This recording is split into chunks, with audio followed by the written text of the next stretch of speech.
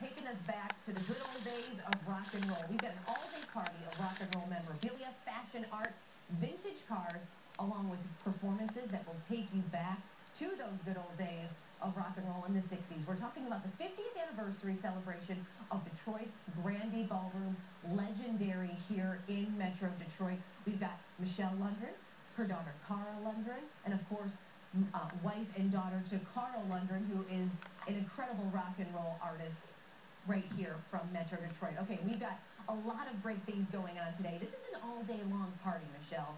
Why honor the Grande Ballroom 50 years later? What about it is so important? The most important part of it today is 50 years ago on October 8th, which is today, the ballroom opened as the Rock and Roll Palace Emporium, almost like the Fillmore, the Avalon.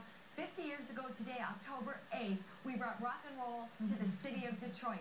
And, and we're talking major rock and roll bands, Led Zeppelin, The Who, uh, MC5, they were a house band. So, I mean, we really started a lot of uh, music legends here uh, in our city of Detroit. So you guys are honoring it today, yes. and you're going to have an all-day long party. So why not take us back, right, Cara, to the 60s? Indeed.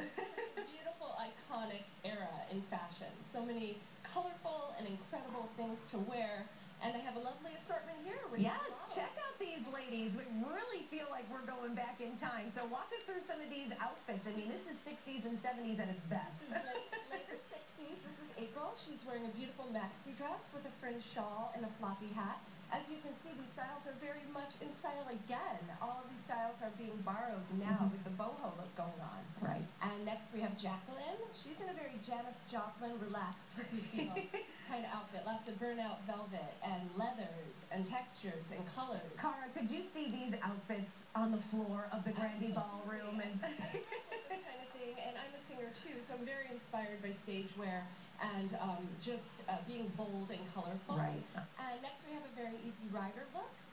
All right, and these ladies look great. Look at the fringe. It's all coming back, too. Take a look at your screen. As I mentioned, an all-day-long rock and roll party to celebrate the 50th anniversary of Grande Ballroom. We've got the information right here. It's at the Ford Community and Performing Arts Center in Dearborn. Michele, the events kick off at 10 a.m., so you guys going to take your rock and roll fashion and go to start the party. And check out, we've got the Yardbirds coming up tonight, uh, right, wrapping things up around 11 o'clock. So congratulations to you guys for pulling off such a great event. Thank you